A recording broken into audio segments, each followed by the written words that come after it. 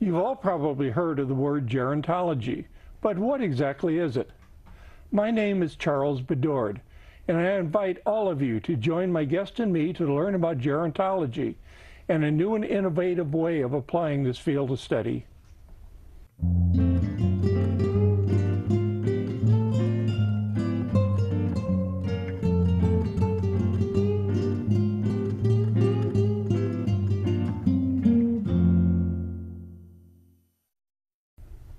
My guest today is Marguerite de Lang. Margriet earned a master's degree in gerontology and currently teaches gerontology courses at both San Francisco State University and Foothill Community College in Los Altos. Welcome, Margriet. It's great to have you on the show. So tell me a little bit about yourself. Thank you for having me here, Chuck. And um, what a dangerous question to ask me because how much time can Open I ended. take? No, Open-ended. feel free. yeah. I was born and raised in the Netherlands. Okay. Then when my husband and I got married, we moved to Germany. And after living there, we moved to the U.S. First to the state of Oregon and Oh, I then to California. I decided to go back to school myself and study first psychology and then gerontology. Interesting. Yeah. But So- let me, uh, another Yes. thing about myself, I think, you know, that describes myself a little bit more is that I strongly value family and friendships and relationships in the wider community. Well, that's certainly very important because uh, I'm from the Midwest myself, and uh, I, I kind of feel sometimes that uh, people don't know each other as well as they really should, perhaps, in you know, in California as they do in other parts of the country. And friendships are, are certainly extremely important, and it takes a long time to build those up sometimes. Excuse me. So you are a gerontologist. Uh, can you tell our audience what exactly is a gerontologist? Yeah, gerontology. gerontologist, right? Right? I, I don't want to spell with a gerontologist. No, Uh, no, it is yes. the gerontologist. Uh, sometimes people know more about a geriatric because we have now geriatric doctors.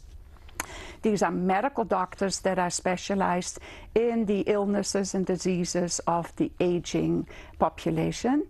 A gerontologist looks at the social and psychological and maybe some of the biomedical, the changes that come with aging uh, in the process of aging. So it's the psychological and social aspects. Now, when people become a gerontologist, they have a, a plethora of, of uh, areas where they can work, and people choose to work in the area that fits them best.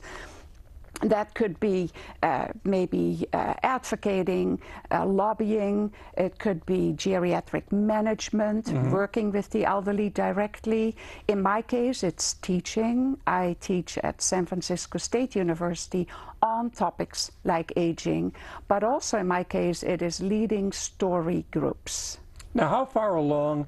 Oh, well, to take me back just a little bit. When did the word gerontologist come into uh, common usage? I mean, it, it seems like it's. When I was in college, it sounds like it was almost kind of an outgrowth of sociology or psychology. And, and some people still think that way. You know, they think, is it not a, an- a sub discipline under uh, sociology or psychology? And no, it is its own discipline. And I know that the program at San Francisco State University, the master's program, was founded 35 years ago Okay. even though the field of gerontology is older.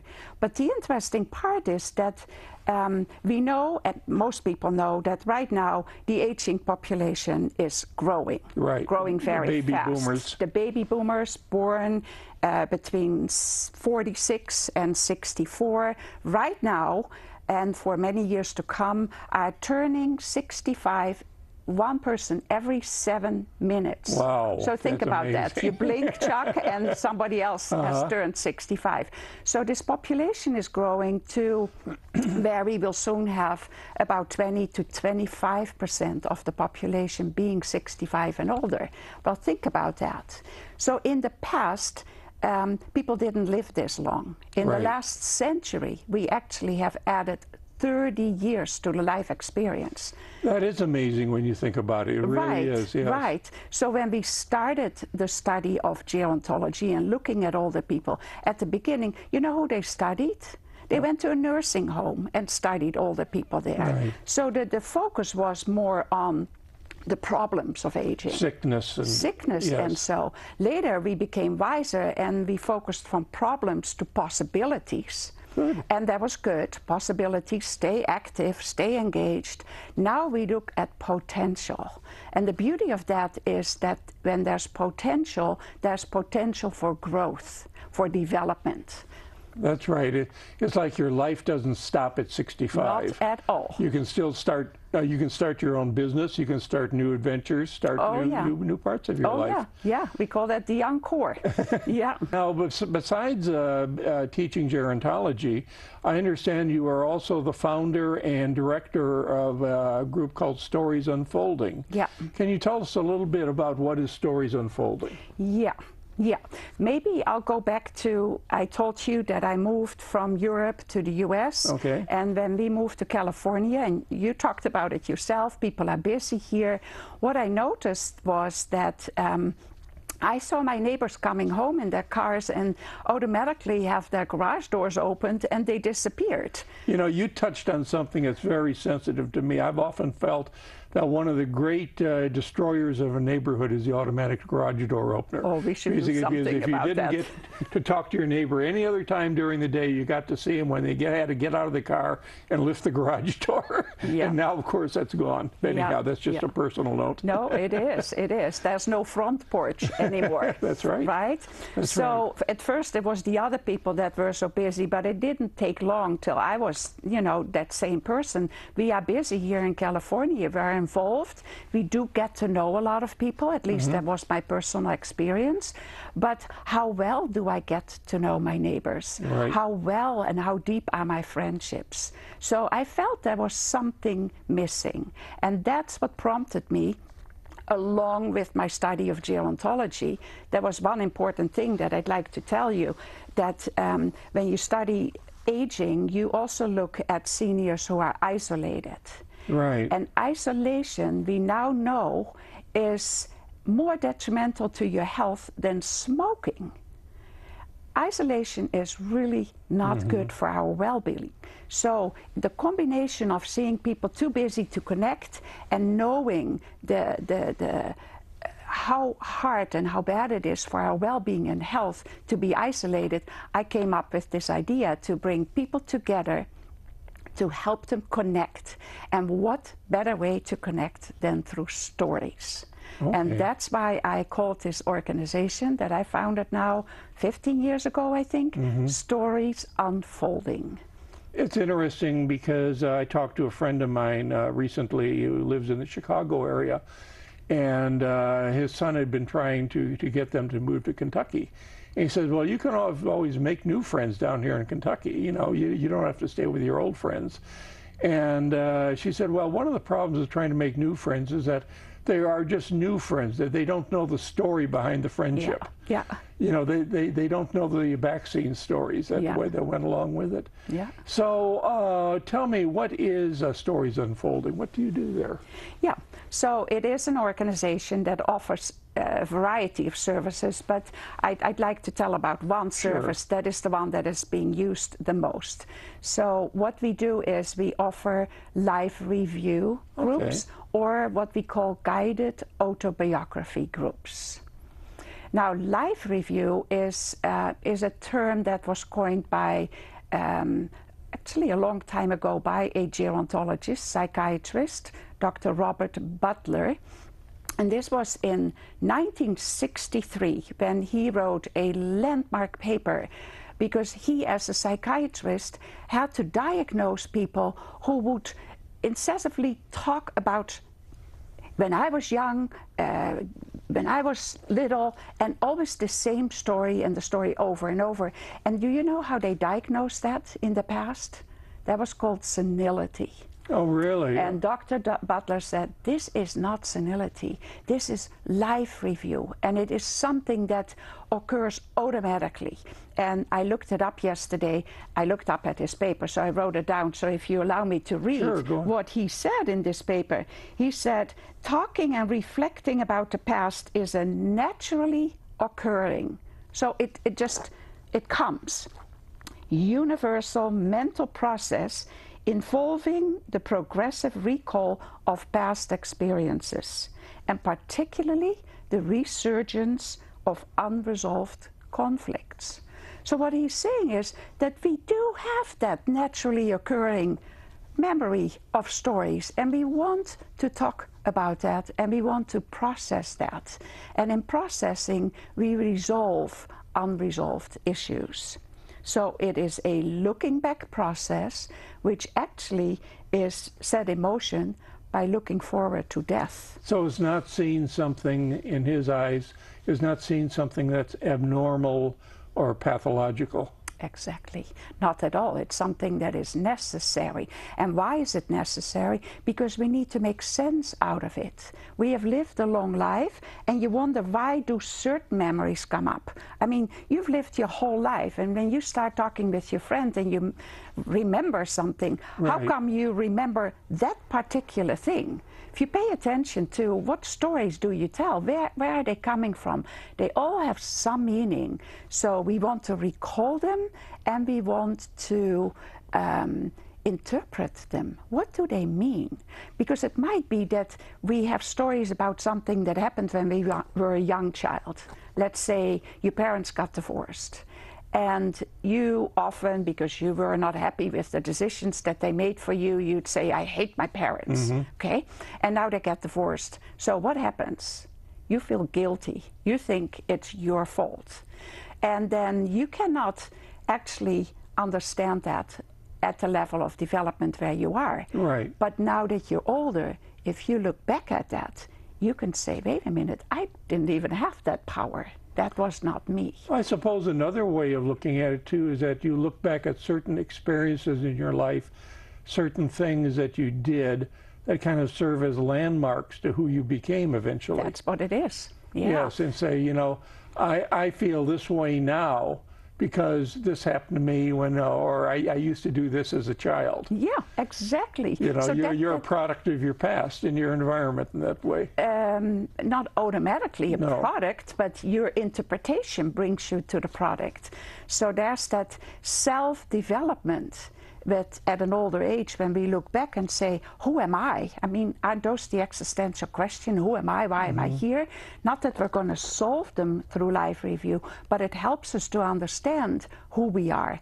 And it gives us a security and, and, and, and an esteem of, of moving forward in the later years, which might not be so easy, but mm-hmm. because we've looked back and understand more and have celebrated ourselves in a sense. Uh, we have also discovered adaptive strategies. How do we deal with things that come our way? We've also learned that sometimes events are negative. I mean, at the moment, but later when we look back, we say, wow, because of this negative event, I had to move or I became divorced, but look at who I became. So this is who I am, and with that, I can move forward. Now, you've used the term life review. I also heard you use the term guided autobiography. Yeah, yeah. Is guided autobiography a subgroup within life review?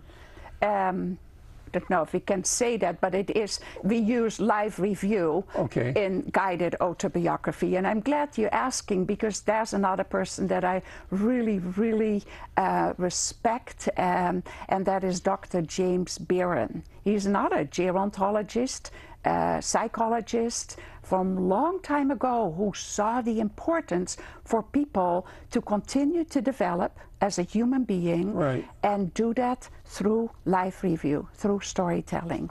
So he came up with the, the words guided autobiography, which means it is an autobiography, your story, that is being guided by a program, guided autobiography, which is a semi structured way in helping you to recall and review and interpret and share your story. Now, I understand that you uh, have organized what you call guided autobiography or GAB groups. Yes, yes. Can you tell us a little bit about these, please? Yeah, yeah.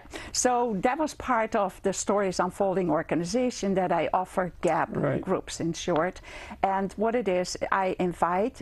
Uh, at the moment, especially women, so let's focus on women. Right. Women live longer, but that's not the, the only reason. Usually, women are more interested in this work, but we can talk about that later. But so I bring together groups of women, ideally about eight women, and I bring them around the table in a comfortable setting, and we lay out the rules. The rules are confidentiality. Whatever is being spoken here is not being carried out, um, so that a trust level can can start to build. And then each week, I will give these women, women a theme, which I write down on a piece of paper. Some of them I've borrowed from Dr. James Birren. And al- along with the theme, there are what we call priming or sensitizing questions. There are about 10 questions. So, Chuck, you come home and you have this, this theme on your paper, and, and it says, well, we're going to, this week, we're going to think about your family life, for mm-hmm. example. And then there are questions. And these questions help you to suddenly recall. It primes you. Memories come. And I want you to sit with that for a few days. Just think about that. And then after that, you're invited to take a piece of paper and start writing what comes up and what you would like to write about. Okay. And then these women come back the next week, and each of them has written two pages. Not less, not more, ideally. And the idea is that there's not a random sharing where you kind of lose track of where you're mm-hmm. going. It's something that you've thought over and that you have written about. And now the women in the circle are taking turns to tell their story. That is such a powerful experience because suddenly the woman who has thought about this, who has written it down, is now reading it in her own voice Right. often it becomes emotional. Mm-hmm. They say, How come I become emotional? I, I, I didn't have that when I wrote. No, now, when you the, the women, do you have kind of a, do you have an age cutoff for this group? Or? It's not an age cutoff. Okay. No, no. But it usually is for women uh, who are. I call them mature women, so maybe 55 and over. But I must tell you, I have women in their 40s, I have women in their 80s, a lot of women in their 70s. Do you have any men? I have had men, and I have, you know, requests from men, and I invite you too, you know, to join one of those groups. But um, I, I prefer to have either women Or or, a men. man group, and not the mixture. And I've done mixture in the past; it works, but solely women groups or solely men groups. Oh, I see. So you find that, that I that- find that working better. that, Yeah. that, that works better. That's Yeah. interesting. Okay. Oh. Now, how, how do you find your participants? Do they come to you? Do you recruit them, or Yeah, I, I always wonder where these women come from. They come to me, Chuck. I'm sorry they come. I mean, I do a You're lot a of magnet, uh, yes. public, public speaking on this topic too, and then people Uh-huh. hear me. And I ask questions to people. I say, you know, when you think back, somebody who's not there any longer, and you would have a chance to ask a question to that person, what would it be? And I give some time to have mm-hmm. you think about that question. And, and a lot of people tell me when, when I heard you speak here here and you asked that question, I realized, you know, I wish I could ask my dad about his war Right. experience or my grandma. And so, and then I always say, and you know, it won't be too long that the next generation or the next is sitting. I wish I would have asked her. So, what about writing down these Right. life stories? I know another technique I suppose you could use would be to uh, a, a, uh, a, re- to record an interview. Just sit Mm-hmm. down at a kitchen table and do a, a recording, ask questions, and record the answers. Yeah, yeah. There is a difference between doing something spontaneously, Right. which is good, and a little bit more structured when Mm-hmm. you think about it and when you write it down. That thinking, that writing down, that reading out loud, and then the last part we haven't talked about is the other women are listening.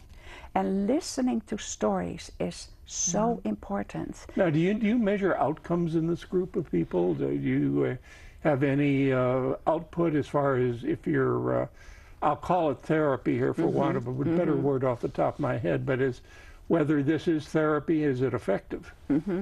Yeah, so outcomes, we do have small researches that have been done through the Biographical Institute, through Dr. Birren's earlier work, mm-hmm. and I can read you some of those.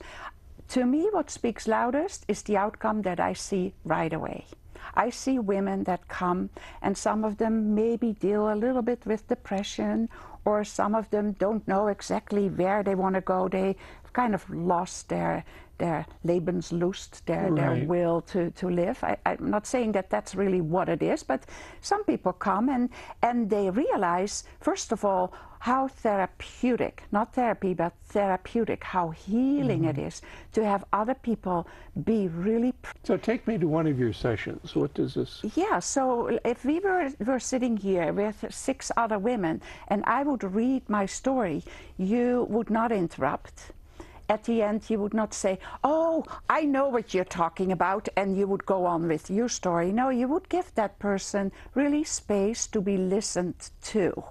And um, then you would realize that her story or his story is really not that different from your story, even though the scenarios are quite different. But there's this universality in it that we all have gone through life and that there all were struggles and joys and challenges and, and, and connections and misconnections. Yes. So there's a connection through that. And yet, when you when I hear your story, I say, "Wow, he is unique. Mm-hmm. Chuck is unique. What a mm-hmm. special person." And before, when I didn't know your story, by the way, we do not only have stories; we are our stories. You were to me just Chuck, another man. Okay. Now I'm hearing your story. I feel connected. I can't help to feel connected. So, what happens in the groups when you're there, you see a bonding, you see a love, you see a becoming alive, you see. Um, Sometimes women remember things that they used to like, and suddenly they say, "Oh, I totally forgot about I used to," and then they will do it. Now you have obviously have an awful lot of passion for this. I can tell by the tone of your voice. Uh, uh, what do you get out of this? Oh, what, what's the most satisfying part of this for you personally? Oh, Chuck, this is the highlight of my week, and it, it's the every group meeting is the highlight, and not only for me, but to see other people grow and blossom, and for them to say, "I, I the week is too long. I can't wait to be there." Uh, that to me is very So they can't wait to get back to your They group, can't right? wait to be back. Yeah, yeah. Now I see you're wearing a blueberry listener button. Oh, I'm so glad Can you asked tell us a little bit picked of up what- on what is a blueberry Yeah. listener? Okay, uh, it has to be brief because that is a very long story, but it has to do with the power of listening. And I had a very close, dear friend one time who had a terminal disease, and I would spend time with her, and I really practiced listening because that was the most important thing for her to, to do to tell her story and to reflect and come to grips of who, who, who is she before this end of life is coming closer. And uh, we had met one time and had a wonderful time as she told me her stories. And then the next day, she told me that she had reflected on that time and given me a nickname. And Oh, of really? course, I was very curious. And while she was speaking with me um, to, to help her with her health issues, I'd, I'd offered her blueberries, which have antioxidants. oh, see. and I just wanted to do a little something. So her nickname for me was Blueberry Listening. Okay. And I thought that that was a wonderful way to help people. Wear a button and remember, become a blueberry listener. So I would go out and invite people. As a matter of fact, I will invite you too. Well, and thank you. I'll give you a blueberry listener button. Thank you very And much. uh, it reminds you to maybe talk a little less or keep that garage door open. And That's right. Get out of the car and open the garage. and listen. And I have to do Uh-huh. that too. But it is so powerful.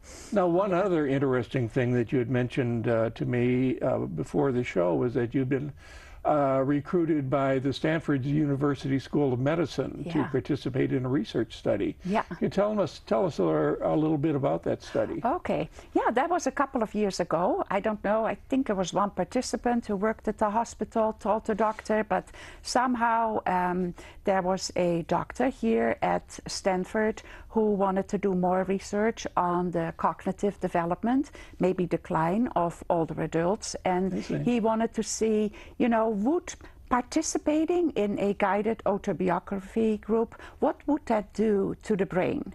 I see. And so he asked me to lead groups at Stanford as a research project. Um, and I did that for two years. I had um, close to 200 people. Do you happen to know what the outcomes were, what they found out? To me, I- I have my outcome. The outcome is, is helping people Yes. to tell their story, to reflect on the story, and to share them, bond with other people in, in confident relationships. Look at events in your life that some of them are casual, mundane, but some of them are more conceptual topics or, or philosophical topics. Um, this week, with a group, we looked at you know, how do we look at death and dying? Or how do we look at religion and spiritual experiences? And to have a very eclectic group of women mm-hmm. around the table sharing their personal experiences mm-hmm. was very, very heartwarming. And So, if one of our viewers would like to join your group, uh, do they speak with you? Do they contact you directly, or how would they gain entrance into one of your groups? yeah, we can go to the website, which is storiesunfolding.com. Storiesunfolding.com, all one word and then dot .com. Exactly, and then you know you you will be brought to signing up to a class or contact me. Uh, you can call me. I don't know if you know you want a phone number. You can email me, email me gabgroups at yahoo.com. Gabgroups at yahoo.com. Um, yeah, Okay. Well, thank you so much for coming on our show. I really appreciate it. and My pleasure. Learned a lot about gerontology that I never knew before and some new, very innovative ways of using that discipline. thank you so Thank much. Thank you very much. Thank you, Chuck.